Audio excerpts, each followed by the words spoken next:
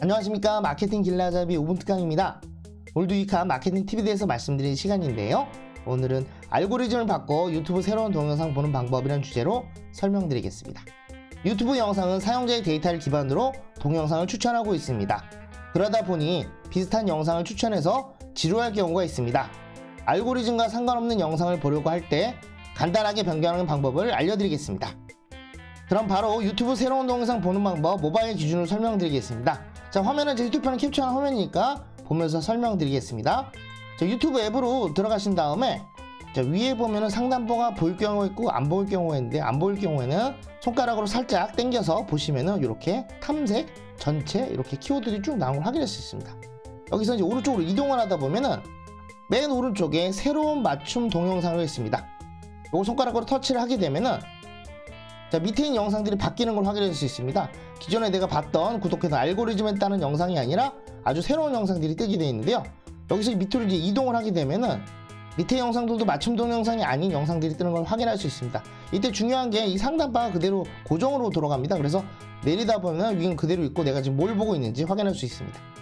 자, 새로운 맞춤 동영상을 다시 터치하게 되면은 자, 전체로 앞으로 돌아가면서 기존 맞춤 동영상으로 변경되는 걸 확인할 수 있습니다. 네, 이번에는 유튜브 상단과 다른 항목 사용 방법 간단하게 설명드리겠습니다. 자, 전체가 체크된 걸 확인할 수 있는데요. 오른쪽으로 이동하게 되면은 아까 새로운 맞춤 동영상 옆에 감상한 동영상이 있습니다. 이걸 터치하게 되면은 기존에 시청했거나 시청하던 영상들이 뜹니다. 그래서 이게 빨간색 바가 움직인 걸 확인할 수 있죠.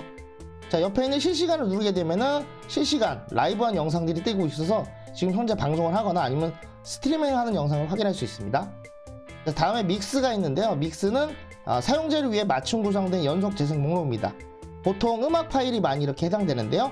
이런 식으로 묶음 영상들을 확인할 수 있습니다. 자, 최근에 업로드된 동영상인데요. 내가 구독했거나 잘 찾아보던 채널에서 업로드된 영상들을 확인할 수 있습니다. 자, 그 다음에 상단바의 각종 키워드들을 확인할 수 있는데요. 지금 뭐 축구, 공예, 요리 프로그램 있는데요. 해당 키워드에 맞춘 영상들이 쭉 나타날 수 있고요. 이런 키워드들은 시청자 데이터를 분석해서 많이 시청된 키워드를 추천하는 거니까요. 요것만 눌러도 내가 평상시 많이 보던 걸 확인할 수 있겠죠. 이번에는 유튜브 새로운 동영상 보는 방법 PC 기준으로 간단히 설명드리겠습니다. 자, 해당 화면은 구글 크롬에서 유튜브를 접속한 화면인데요. 이번에는 상단바가 그대로 다 보입니다. 전체가 보이고요. 쭉 키워드들 나오고요. 맨 오른쪽 보시면 새로운 맞춤 동영상이라고 있습니다. 자, 터치하게 되면 새로운 맞춤 동영상 키워드가 반짝반짝하게 변경되는 걸 확인할 수 있고요. 밑에 있는 영상들도 보던 영상이 아닌 새로운 영상이 나온 걸 확인할 수 있습니다. 여기 풀게 되면 다시 기존 영상 돌아가고요. 자, 이것도 모바일과 동일합니다. 옆에 있는 감상한 동영상 누르게 되면은 이미 봤던 영상들 확인할 수 있고요.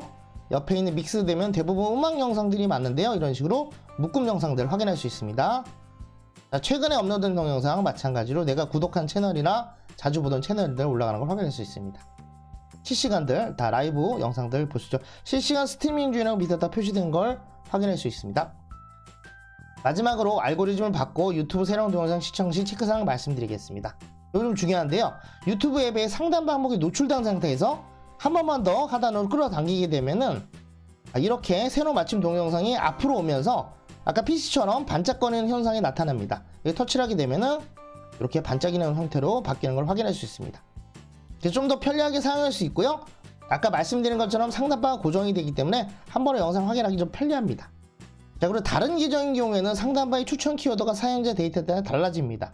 지금 보시면 다른 계정으로 들어간 건데요. 뭐 포켓몬, 야구, 야생동물처럼 전혀 다른 키워드들이 뜨는 걸 확인할 수 있습니다. 자, 이건 또 다른 계정인데요. 보시면은 키워드가 많습니다. 그러다 보니까 오른쪽에 화살표가 있거든요. 누르시면은 새로운 맞춤 동영상이 여기 있는 걸 확인할 수 있죠. 키워드가 많아서 더 오른쪽으로 가셔야 된다는 거 이것도 확인하시면 좋을 것 같습니다. 자 오늘 방송 여기서 마치도록 하고요. 내용이 좋았다 생각하시면 좋아요, 구독하기, 알림 설정 부탁드리겠습니다. 그럼 다음 시간에 또 인사드리겠습니다. 감사합니다.